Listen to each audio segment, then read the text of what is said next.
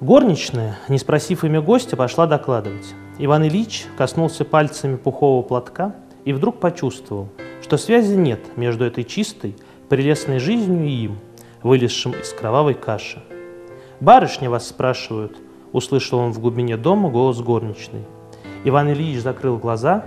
Сейчас раздастся гром небесный, и, затрепетав с ног до головы, услышал быстрый и ясный.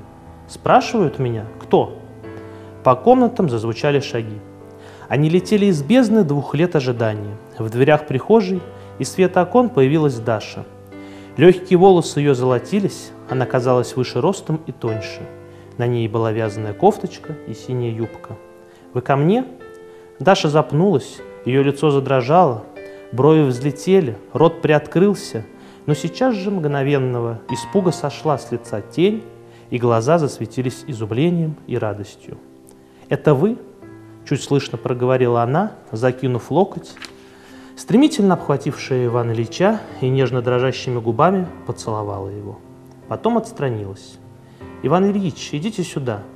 И Даша побежала в гостиную, села в кресло и, пригнувшись к закрыла лицо руками. «Ну, глупо, глупо, конечно», – прошептала она, изо всей силы вытирая глаза.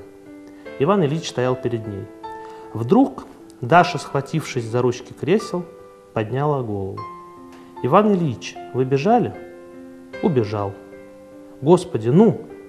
«Ну вот, и прямо сюда». Он сел напротив кресла, изо всей силы прижимая к себе фуражку. «Как же это произошло?» – с запинкой спросила Даша. «В общем, обыкновенно». «Было опасно?» «Да, ну, то есть не особенно».